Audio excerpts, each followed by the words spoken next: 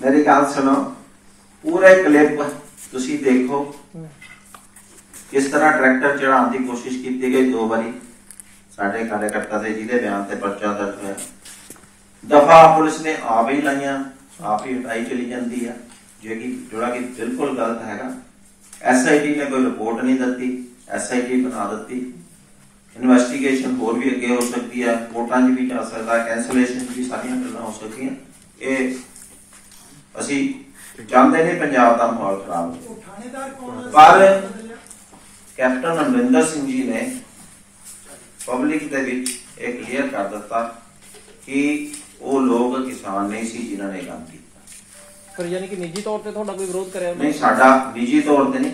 ਕਿਸਾਨੀ ਅੰਦੋਲਨ ਦੀ ਆੜ 'ਚ ਬੜਾ ਕੁਝ ਗਲਤ ਹੋ ਰਿਹਾ ਜਿਹਦੇ ਨਾਲ ਪੰਜਾਬ ਦਾ ਨੁਕਸਾਨ ਹੋ ਸਕਦਾ। ਮੈਂ ਇਹ ਤੋਂ ਵੱਧ ਨਹੀਂ ਕੁਝ ਹੱਕ ਤੇ ਸੱਚ ਦੀ ਖਬਰ ਲਈ ਲਾਈਕ ਤੇ ਸਬਸਕ੍ਰਾਈਬ ਕਰੋ ਪੰਜਾਬ ਦਾ number 1 digital news channel the Fact News